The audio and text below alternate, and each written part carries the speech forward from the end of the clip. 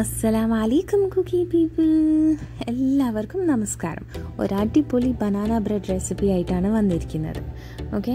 So ഇതൊക്കെയാണ് നമുക്ക് വേണ്ട സാധനങ്ങൾ. ഞാനിവിടെ മൈദക്ക് പകരം ആട്ടപ്പൊടിയാണ് യൂസ് ചെയ്തിരിക്കുന്നത്. അതുപോലെ നൂറ് അമ്പത് ഗ്രാം ബട്ടറാണ് വേണ്ടത്. ആ ബട്ടറിന് പകരം അര കപ്പ് ഓയിൽ നമുക്ക് യൂസ് ചെയ്യാം. ഓക്കെ?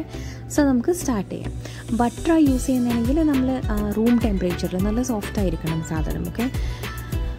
ബട്ടറിന്റെ കൂടെ ഒരു കപ്പ് പഞ്ചസാര ഒരു മുട്ട അര കപ്പ് പാൽ പിന്നെ അര ടീസ്പൂൺ വാനില എസൻസ്. ഇതൊക്കെ ചേർത്തിട്ട് നന്നായിട്ടൊന്ന് ബീറ്റ് ചെയ്തെടുക്കാം. നമുക്ക് മറ്റേ ബീറ്റർ ഉപയോഗിച്ചിട്ടും ചെയ്യാം ബട്ട് കുഴപ്പമില്ല. ഇത് വെച്ചിട്ട് ഈ വിസ് സാധാ വിസ്ക് വെച്ചിട്ടൊന്നും ചെയ്താലും മതി.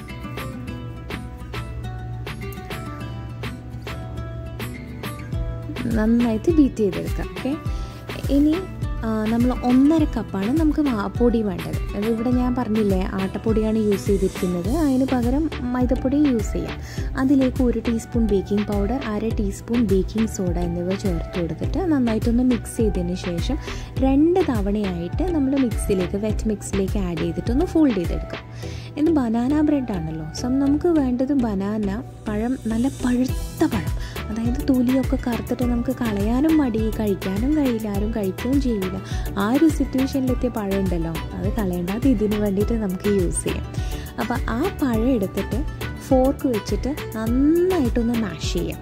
എന്നിട്ട് നമുക്ക് ഇതിലേക്ക് എടുക്കാം ഓ അതിന് മുമ്പേ ചാനൽ സബ്സ്ക്രൈബ് ചെയ്യാതെയാണ് നിങ്ങൾ കാണുന്നതെങ്കിൽ ഒന്ന് സബ്സ്ക്രൈബ് ചെയ്യണേ. ഇതാ ഞാൻ പറഞ്ഞില്ലേ? നന്നായിട്ട് മാഷ് ചെയ്ത പഴം നമുക്ക് ഇതിലേക്ക് ചേർത്ത് കൊടുക്കാം.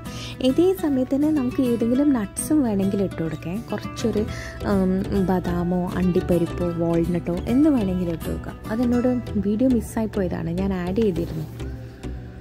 അപ്പം നന്നായിട്ടൊന്ന് ഫോൾഡ് ചെയ്യുക ഇതിപ്പോൾ ആട്ടപ്പൊടി ആയതുകൊണ്ടാണ് ഇത്ര കട്ടി പോലെ നമുക്ക് തോന്നുന്നത്. മൈദപ്പൊടിയാണെങ്കിൽ ഇത്രയും കട്ടി ഉണ്ടല്ലോ കുറച്ചുകൂടി ലൂസായിരിക്കും ഇനി നമുക്ക് ഓവനിലാണ് ഞാനിവിടെ ബേക്ക് ചെയ്തെടുക്കുന്നത്. അപ്പം വൺ എയ്റ്റി ഡിഗ്രീസിൽ പത്ത് മിനിറ്റ് പ്രീ ഹീറ്റ് ചെയ്ത് വെക്കുക എന്നിട്ട് നമുക്കൊരു അരമണിക്കൂർ ഇരുപത്തഞ്ച് മുപ്പത് മിനിറ്റ് ആയി കഴിഞ്ഞാൽ നമുക്കൊന്ന് ടൂത്ത് പിക്ക് ടെസ്റ്റ് ചെയ്യാം. ഒന്ന് കുത്തി കൊടുത്തിട്ട് ആയോ എന്ന് അറിയാം.